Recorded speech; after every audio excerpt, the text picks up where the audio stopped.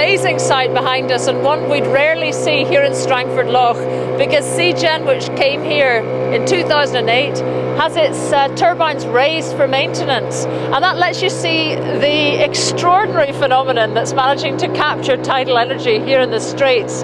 Now, this is also the site of the world's biggest monitoring project, environmental monitoring, to make sure that the turbines have as little impact as possible on the seals, on porpoises, on seabirds, uh, even on the benthic, which is the plant species that grow on the bottom. And it's been a three year monitoring project. It'll go on for another two years.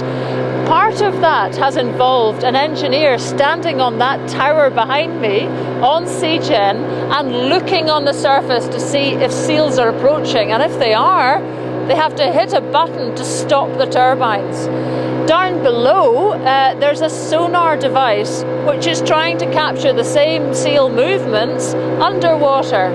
And there's been a lot of work trying to reconcile the two to find out the question, the big question do seals approach the turbines? And if they do, what happens? Common seal numbers are down everywhere. Our boatman John Murray has worked on the loch for 30 years.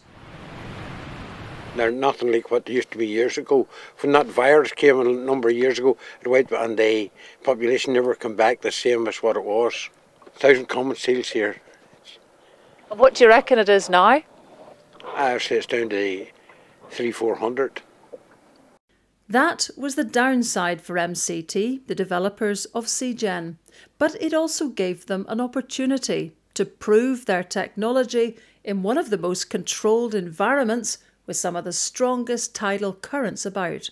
So they agreed to a testing regime for their massive twin turbine device to collect evidence of how Seagen interacts with seals and other animals. For three years, Daryl Burkett of Queen's University has sat at this observation post opposite Seagen to gather this vital evidence firsthand. We need to know if Seagen is going to cause any changes in the behaviour, the distribution patterns, the feeding patterns of any of the species that call Strangford Loch their home. Um, so, in order to tell if there's been a change, we need to tell what was there before. So as soon as marine current turbines had an idea of where in the Narrows they wanted to place Seagen, I started collecting the information. I sit for three hours and I scan very, very slowly, panning from the north to the south, from as far as I can see to the north, as far as I can see to the south, and then back again. With these very special binoculars? With these very special binoculars, yes. In here is a magnetic compass and a laser light. And when I press the button on the left hand side, in the eyepiece comes up the magnetic bearing at which I'm looking. And if I press the button on the right hand side, um, the distance to whatever I'm pointing at comes up. So, what are you actually plotting then when you've got that kind of information? With the ranges and bearings, we can calculate the position of every individual sighting, and then we can plot distribution maps of, for example, with the black guillemots, where they are flying, where they're sitting out, where they're uh, drifting to and fro on the water, where they're fishing if we see them fishing. Seals, what have you found about them?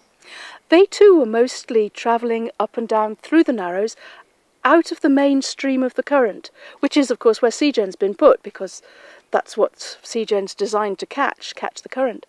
Um, so, as far as the seals are concerned, um, there doesn't seem to have been any change at all in their behaviours. I suppose people would say you can only see the seals that surface. Ah, that's where you need to speak to Andy Murray, who can see the seals underwater because he's in charge of the sonar device. Andy Murray is one of the marine scientists who now works on shore, monitoring Seagen's sonar from a computer screen. But it's not without its challenges. The wake off the pile is quite visible because a lot of a lot of bubbles are brought up during that, and that's one thing that the sonar actually picks quite well up. You know. so you would need to be able to distinguish between turbulence um, seaweed and a seal pop. How do you do that? Well, it, it's all about experience. Uh, I was out on the, the turbine for a year or so, uh, working with marine mammal observers, and they were ground truthing any sort of data that we got on That's the screen. ground truthing. Well, basically, it's if somebody says, "Okay, I, I've seen uh, a common seal diving at uh, 80 meters," can you see anything? From experience, I can say, "Well, that was a seal. You know, it looks very like it." I can just lean across and press one button on the turbine uh, panel here, and that will shut the turbine down in Really? three seconds. So, it's a so th- you don't even need to get your feet wet. no, no, it's all, all remote, all remote. But the bottom of the loch is not a benign environment. Dr. Graham Savidge of Queen's University should know he's put monitoring devices into that tidal race with unexpected results. We'd deployed a couple of them on the seabed, and unfortunately, we lost them. Uh, they were really weighted down on the seabed, and we went back. It gives you some idea of what goes on there when the tide is running in the narrows there. There must be cobbles, stones, rocks rolling around the bottom and sediment, and you know, it, it, it, it must be an incredibly dynamic environment. I caught up with two Davids who know all about the power of Strangford's tides. Dr. David Erwin is an environmental scientist, and David Ainsworth is Seagen's project manager. David Erwin first. Underneath the water where we are here, it's just 100% covered with soft corals, with sponges. It's absolutely incredible. Straight out of Barrier Reef time. I mean, it's beautiful down there. And, and eh, high energy areas will always be like this. But if wouldn't it they- be the case that you'd think a seal trying to catch fish in a current like that is a bit like us trying to have a sandwich in a hurricane? Well, they don't do too much when the tide's running very hard. I mean, they, they'll find somewhere quiet when the tide is going flat out. Uh, in fact, we've found that there, there are two peaks in the day of, when seals are at their, at their most common, is when the tide is slack. Yeah. So when the tide goes down, the seals are active. When the tide's running very strong, well, the seals don't, don't appear. And the turbines are slack when the when the when the tide is slack. Exactly. Exactly, and that's one of Exactly. that's one of the big questions that we, we're helping to answer here, is that the correlation between seal activity and the turbine activity is mutually exclusive. and the little noise that's generated by the machine holds them maybe a little bit away from it. So the single installation is not a problem. If they stay away and they're only there at slack water, we don't have a problem. And they're not playful enough to just want to nose around it. We're, we're always slightly worried about the occasional kamikaze seal, but we haven't had one yet. We have spent rather a lot on the environmental monitoring. Yes, it's probably um, unprecedented for any renewable project. So let's just put a figure. Is it three million, four million pounds? Um, in that order, yes. Proving turbines don't damage seals has been tough and expensive for MCT. Even if Seagen gets the OK here in Strangford, an array or cluster of devices somewhere else might need new tests. Can the industry afford it?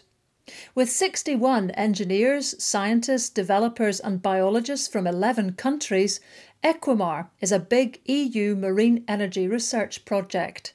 Our job is to devise fair, workable standards to help this new industry prosper and expand. Those standards or protocols will cover everything from environmental monitoring to efficiency, and they'll be ready by the end of 2010.